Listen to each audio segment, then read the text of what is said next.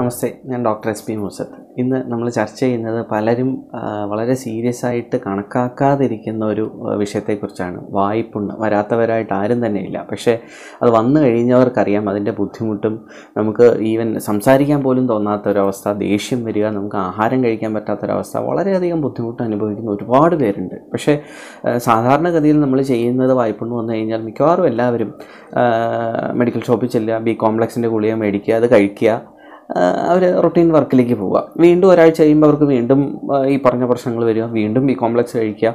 ഇതിൽ രണ്ട് തകരാറുകളാണ്. ഒന്ന് നമുക്ക് ഈ ഡെഫിഷ്യന്റ് ആണോ എന്നുള്ളത് അറിയാണ്ട് തന്നെ നമ്മളിത് കഴിക്കുന്നു നമ്മുടെ അസുഖം മാറുന്നു. പക്ഷെ അത് ഉണ്ടാവാനായിട്ടുള്ള കാരണം കണക്കാക്കി നമ്മൾ ചികിത്സിക്കാതെ വരുമ്പോൾ ഈ പറഞ്ഞ ബി കോംപ്ലക്സ് ഗുളികയുടെ ഒരു സൈഡ് എഫക്റ്റ് ഉണ്ടാവാം. അല്ലെങ്കിൽ ഈ പറഞ്ഞതുപോലെ നമുക്ക് അതിന്റെ കാരണം ചികിത്സിക്കാതെ വരുമ്പം ആ കാരണം തന്നെ മറ്റു പല രോഗങ്ങൾക്കും ഒരു കാരണമായി തീരാം അപ്പം ഈ വായ്പുണ്ണ് വരാനായിട്ടുള്ള ഒട്ടനവധി കാരണങ്ങളുണ്ട്. ഏറ്റവും പ്രധാനമായിട്ട് നമ്മുടെ ശരീരത്തിന്റെയും വായയുടെയും പി എച്ച് അസിഡിക് ആക്കുന്നതാണ് ഏറ്റവും മൂല കാരണം അപ്പോൾ അതിൽ തന്നെ നമ്മുടെ വയറിന്റെ ആരോഗ്യം അതായത് ആ ദഹന പ്രക്രിയ നോർമൽ അല്ല നമ്മുടെ വയറിന്റെ ഉള്ളിലുണ്ടാവുന്ന ചില ബാക്ടീരിയകൾ അതായത് ഹെലിക്കോ ബാക്ടീരിയം പൈലോറി എന്ന് പറഞ്ഞിട്ടുള്ള ബാക്ടീരിയയുടെ ഒരു പ്രസൻസ് കൊണ്ട് അല്ലെങ്കിൽ അതുകൊണ്ട് നമുക്ക് വായ്പുണ്ടുണ്ടാവാം അപ്പം ആ നല്ല ബാക്ടീരിയകളുടെ അഭാവം നമുക്ക് വായ്പുണ്ടുണ്ടാവാൻ സാധ്യതയുണ്ട്. അപ്പോൾ വയറിന്റെ ആരോഗ്യം നമുക്ക് വായിൽ അനുഭവപ്പെടും. അങ്ങനെ ഒരു ഇൻഫെക്ഷൻ വയറിനുണ്ടെങ്കിൽ അത് വായിലും ഉണ്ടാവും. അപ്പം പി എച്ച് അസിഡിക്കാക്കുന്ന കാര്യങ്ങൾ ഈ പറഞ്ഞ ബാക്ടീരിയയുടെ ഗുഡ് ബാക്ടീരിയയുടെ എണ്ണത്തിലുള്ള കുറവ് ടെൻഷൻ ഉണ്ടാവുക. ഞാൻ പലപ്പോഴും കണ്ടിട്ടുണ്ട്. പരീക്ഷാ സമയമാകുമ്പം പരീക്ഷാ സമയങ്ങളിൽ കുട്ടികൾക്ക് വായ്പുണ്ണ് ഒരുപാടായിട്ട് വരുന്നു. അതായത് അല്ലെങ്കിൽ ജോലിയുടെ ഭാരം മൂലം വായ്പുണ്ണ് വരിക. ഇങ്ങനെയൊക്കെയുള്ള ടെൻഷൻ അടിക്കുന്ന സമയത്ത് നമ്മുടെ വാഗസ് നെർവ് എന്ന് പറയും. നമ്മുടെ തലച്ചോറിൽ നിന്ന് വയറിലേക്ക് വരുന്ന ഒരു നാടിയാണ് വാഗസ് നെർവ് എന്ന് പറയുന്നത്. ഈ വാഗസ് നെർവ് ഇനിഷ്യേറ്റ് ചെയ്ത് കഴിഞ്ഞാൽ നമ്മുടെ ദഹന പ്രക്രിയ തകരാറിലാവുകയും ചില കുട്ടികൾക്ക് ലീക്കി കട്ട് അതായത് വയറിളക്കം ഉണ്ടാവുക. ടെൻഷൻ അടിക്കുമ്പോൾ വയറിളക്കം വരിക അല്ലെങ്കിൽ പരീക്ഷാ സമയത്ത് വയറിളക്കം വരിക ഇതൊക്കെ ഫിസിയോളജിയായിട്ട് ബന്ധപ്പെട്ടിട്ടാണ്. അപ്പം ഈ ലീക്കി കട്ട് ഒരു കാരണമാണ് ടെൻഷൻ ഒരു കാരണമാണ് ഈവൻ നമുക്ക് ഐ ബി എസ് എന്ന് പറയും ഇറിറ്റബിൾ ബവൽ സിൻഡ്രോം ഭക്ഷണം കഴിച്ചാൽ ഉടനെ വയറ്റിൽ നിന്ന് പോകണം തോന്നുക. ഇങ്ങനെയുള്ള ആൾക്കാർക്കും വായ്പുണ്ണ് വരാനായിട്ട് സാധ്യത വളരെ കൂടുതലാണ്. മറ്റു ചില ആൾക്കാർ നമുക്ക് ഉറക്കമുളപ്പ് നമുക്ക് ശരിയായിട്ടുള്ള ഉറക്കം കിട്ടിയില്ല എങ്കിൽ അതും വായ്പുണ്ണിനൊരു കാരണമാണ്. പിന്നെ നമ്മുടെ ഈ പറഞ്ഞ എല്ലാവർക്കും അറിയാവുന്ന പുകയില സിഗരറ്റ് പോലെയുള്ള സാധനങ്ങൾ നമ്മൾ ഉപയോഗിക്കുന്നത് വഴി വായ്പുണ്ണുണ്ടാവാം. ചില ആഹാര സാധനങ്ങൾ അത് ബോഡി അബ്സോർബ് ചെയ്യാതിരിക്കുന്ന സമയത്ത് അതായത് അമിതമായിട്ടുള്ള മധുരമുള്ള ആഹാരങ്ങൾ പുളിപ്പുള്ള ആഹാരങ്ങൾ ചുമന്നമുളക് ചേർന്ന എരിവുള്ള മസാലയൊക്കെ ചേർന്നിട്ടുള്ള ആഹാരങ്ങൾ കഴിച്ചാൽ പിറ്റേ ദിവസം വായ്പുണ്ണ് വരുന്നതെന്ന് പലരും പറയാറുണ്ട്. ചിലർക്ക് പാൽ കുടിച്ചാൽ വരുന്നുണ്ട്. അതായത് പ്രോട്ടീൻ ആൽഫ പ്രോട്ടീൻ ചേർന്നിട്ടുള്ള സാധനങ്ങൾ ബോഡി അബ്സോർബ് ചെയ്യാതെ വരുമ്പം അതുമൂലവും വായ്പുണ്ണ് വരാറുണ്ട്. അപ്പം ഒട്ടനവധി സാധനങ്ങൾ വായ്പുണ്ണിനും അലർജി ആയിട്ടുള്ള ആഹാരങ്ങളും വഴി വായ്പുണ്ണ് വരാറുണ്ട്. ഈ ചില ടൂത്ത് പേസ്റ്റുകൾ ഈ സോഡിയം ലോറേറ്റ് സൾഫേറ്റ് പോലെയുള്ള കെമിക്കലുകൾ ചേർന്ന ടൂത്ത് പേസ്റ്റുകൾ ഡെയിലി ഉപയോഗിക്കുന്നത് വഴിയും വായ്പുണ്ണ് വരാറുണ്ട്.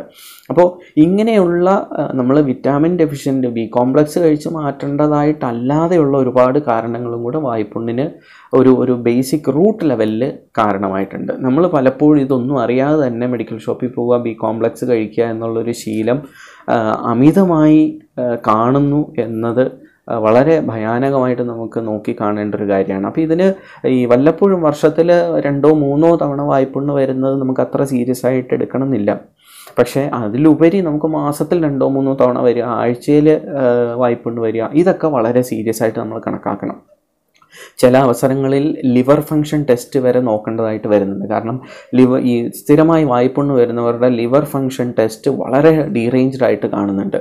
അതിൽ എസ് ജി ഒ ടി ആയിക്കോട്ടെ എസ് ജി പി ടി ആയിക്കോട്ടെ പക്ഷേ ഈ S G O T S G P T കൂടിയിരിക്കുന്ന അവസ്ഥയാണെങ്കിലും നമ്മുടെ റീഡിങ്ങിൽ അത് കുറയ്ക്കുക എന്നുള്ളതാവരുത് നമ്മുടെ ചികിത്സയുടെ ലക്ഷ്യം. കാരണം ഈ റീഡിങ് കൂടാനായിട്ടും ഒരു കാരണമുണ്ട്. ആ കാരണത്തെ വേണം ചികിത്സിക്കാൻ. അല്ലാതെ ലിവർ ഫങ്ഷൻ ഇതായി ലിവറിന് ഉള്ള മരുന്ന് കൊടുക്കുക എന്നുള്ളതല്ല. ലിവറിന് എന്തുകൊണ്ട് ആ ഒരു പ്രശ്നം ഉണ്ടായി?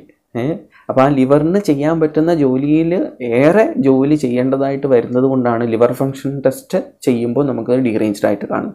അപ്പോൾ അതിന് വേണം നമുക്ക് ചികിത്സ കൊടുക്കാൻ. ഈ വല്ലപ്പോഴും വായ്പുണ്ണ് വരുന്നതിന് ചില ഒറ്റമൂലികൾ നമുക്ക് ഒരുവിധപ്പെട്ട എല്ലാവരും ചെയ്യുന്നതാണ്. നമുക്ക് കല്ലുപ്പിട്ടിട്ട് നമുക്ക് വെള്ളം തിളപ്പിച്ച് വായിൽ കവിൾക്കൊള്ളുക. അതുമല്ലെങ്കിൽ നമുക്ക് നല്ല മോര് അതായത് സംഭാരം പോലെയുള്ള മോര് നമുക്ക് ഒന്ന് ഗാർഗിൾ ചെയ്യാം. ഇനി അതുമല്ല എങ്കിൽ ആയുർവേദ മരുന്ന് ഷോപ്പിൽ ചെല്ലുകയാണെങ്കിൽ നിങ്ങൾക്ക് ത്രിഫലയുടെ ചൂർണം കിട്ടും പൊടി കിട്ടും. അതിട്ട് വെള്ളം തിളപ്പിച്ചിട്ട് അതുകൊണ്ട് കവിൾക്കൊള്ളുക കൊള്ളുക. എന്നിങ്ങനെയുള്ള വീട്ടിൽ ഒന്നുമില്ലെങ്കിൽ നമുക്ക് ഒരു നാലഞ്ച് ദിവസത്തേക്ക് നല്ല കറിവേപ്പില വീട്ടിലുണ്ടായ കറിവേപ്പില അരച്ച് ചെറിയ പുളിയില്ലാത്ത മോരിൽ കലക്കി ദിവസവും രാവിലെ ഒരു നെല്ലിക്ക മുഴുപ്പിൽ കഴിക്കാമെന്നുണ്ടെങ്കിൽ ഇതിന്റെ ബുദ്ധിമുട്ട് മാറാറുണ്ട്. അതുമല്ല എങ്കിൽ നമുക്ക് പണ്ട് കാലത്ത് നമ്മൾ കുടിക്കാറുണ്ട് പഴങ്കഞ്ഞി. അപ്പോൾ ഈ പഴങ്കഞ്ഞിയുടെ ഉപയോഗം നമുക്ക് ഈ പറഞ്ഞ ബാക്ടീരിയ നല്ല ബാക്ടീരിയകൾ നമ്മുടെ ഗട്ടിൽ കൂടാനായിട്ട് സഹായിക്കുന്ന ഒരു സാധനമാണ്. അപ്പോൾ അതുകൊണ്ട് തന്നെ അതിന്റെ ഉപയോഗവും നമുക്ക് ചെയ്ത് നോക്കാവുന്നതാണ്. മുക്കൂറ്റി അത് അരച്ചിട്ട് നമുക്ക് ഈ വായ്പുണ്ണ സ്ഥലത്ത് വെക്കാവുന്നുണ്ടെങ്കിൽ അത് വളരെയേറെ ഗുണം ചെയ്യും. ഇനി അതുമല്ലെങ്കിൽ പേരയുടെ ഇല കടിച്ച് വെച്ച് കഴിക്കാവുന്നുണ്ടെങ്കിൽ അതും വായ്പുണ്ണ് പറയും പക്ഷേ ഈ പറഞ്ഞ ഒറ്റമൂലികളൊക്കെ വല്ലപ്പോഴും കൂടി നമുക്ക് വരുന്ന വായ്പുണ്ണിന് പെട്ടെന്നുള്ള ഒരു പ്രതിവിധി എന്നുള്ളത് മാത്രമാണ്. ഇത് നിത്യം കഴിക്കുന്നത് അത്ര നല്ലതുമല്ല. അപ്പം കഴിയുന്നതും നമുക്ക് പെട്ടെന്നൊരു പ്രതിവിധിക്ക് ഇങ്ങനെയുള്ള പൊടിക്കൈകൾ ഉപയോഗിച്ചത് കൊണ്ടോ ഈവൻ ബി കോംപ്ലക്സ് എന്ന് പറയുന്നതും ഇങ്ങനെയുള്ള ഒരു ഒറ്റമൂലി എന്ന് മാത്രമേ നമുക്ക് പറയാൻ പറ്റുള്ളൂ. അപ്പം ആ ഡെഫിഷ്യൻസി ഉണ്ടാവാനായിട്ടുള്ള കാരണം എന്താണ്? നമുക്ക് സപ്ലിമെന്റ് ചെയ്യുക എന്ന് പറയുന്നത് ജീവിതകാലം മുഴുവൻ ചെയ്യാൻ പറ്റുന്ന കാര്യമല്ല. അപ്പോൾ സപ്ലിമെന്റ് കൊടുക്കേണ്ടതായിട്ടുള്ള കാരണം എന്തുകൊണ്ട് അല്ലെങ്കിൽ ആ ഒരു കണ്ടീഷൻ എന്തുകൊണ്ടുണ്ടായി എന്ന് നോക്കി അതിന് വേണം ചികിത്സ. അപ്പോൾ ബി കോംപ്ലക്സ് ആയാലും പേരയുടെ ഇലയായാലും ത്രിഫലയുടെ ചൂർണമായാലും മുക്കൂറ്റി ആയാലും നെല്ലിക്ക ആയാലും ഇങ്ങനെയുള്ള സാധനങ്ങളൊക്കെ നമുക്കൊരു ഒറ്റമൂലി എന്നുള്ള രീതിയിൽ വേണം കരുതാൻ അതിലുപരി അടിക്കടി ഉണ്ടായാൽ തീർച്ചയായിട്ടും നിങ്ങളുടെ ലിവർ ഫങ്ഷൻ ടെസ്റ്റോ അങ്ങനെയുള്ള ഇൻവെസ്റ്റിഗേഷൻസ് ചെയ്തുകൊണ്ട് നല്ലൊരു ഡോക്ടറെ സമീപിച്ച് അതിനുള്ള മൂലകാരണത്തിന് ചികിത്സ കൊടുക്കുന്നതാണ് ഏറ്റവും ഉത്തമം.